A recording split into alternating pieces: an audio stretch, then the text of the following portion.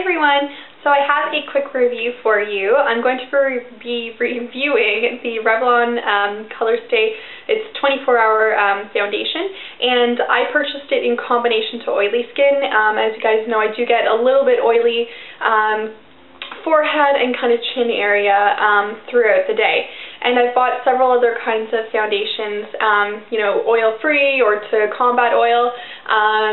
And, you know, some of them work really well, use them, whatnot. Um, but I thought, well, I've heard so many people talk about this foundation that I thought, why not just go out, buy it, you know. So I did. I got it in the shade 200, which is nude. And um, in the store, like, I, I tested it, just put some on my hand. Um, and I think this color's got a little bit too much, like, it doesn't look pink, but it's got a little bit too much red to it.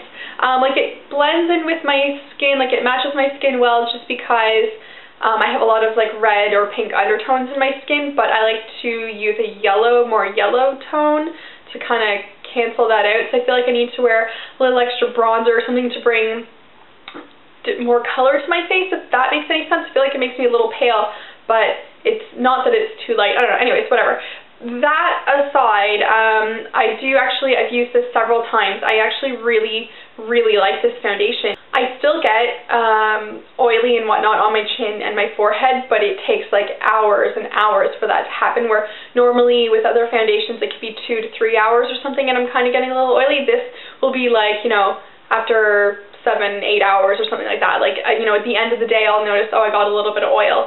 Um, I really, really like this. They do have, um, a, they have a good variety of shades, but I think more if you have lighter to medium tone skin. As far as dark, they really don't have a great um, selection in shades.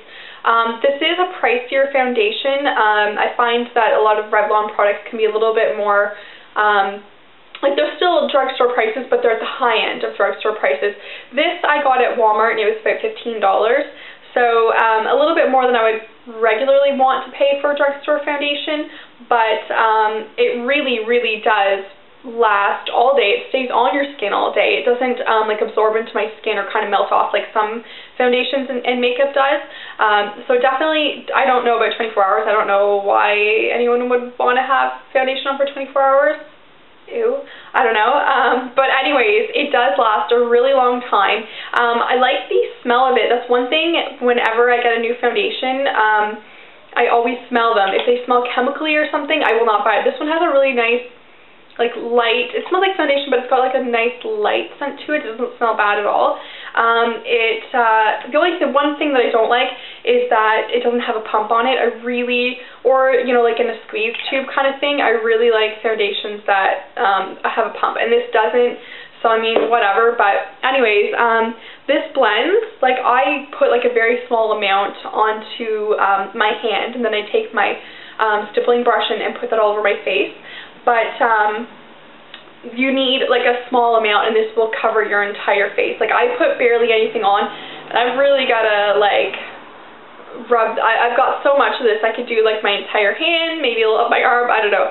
Anyways, um, so it just, um, it has a really nice kind of flawless finish to it.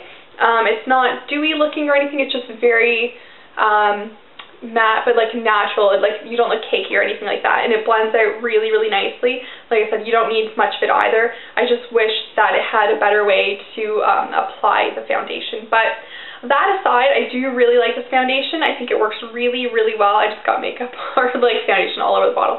Anyways um anyways that being said it does have SPF 6 in it which I don't think is really that much kind of pointless. I mean it's good to have it in it but uh, for 6 it really that's kind of pointless um, in, in my opinion anyway. So I will definitely be using all of this up. This is definitely going to be a summer shade, though I could not wear this shade in the winter. It wouldn't work for me. But um, they do also have it in like um, for dry skin or normal skin or something like that as well. They've got like two two variations of this um, Colorstay. So I do really, really like it. I've been wanting to try it for a while. I'm happy I bought it. Definitely going to use it. Um, I think I'll use this shade for the summer and then when it starts getting to fall winter I will pick up a lighter shade of this. But it lasts all day.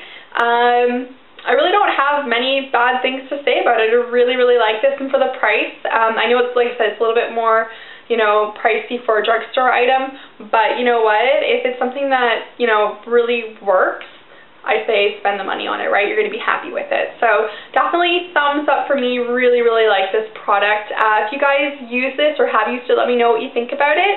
And I hope you enjoyed this kind of quick rambly review. So anyways, I will talk to you guys again and thank you so much for watching. Bye-bye.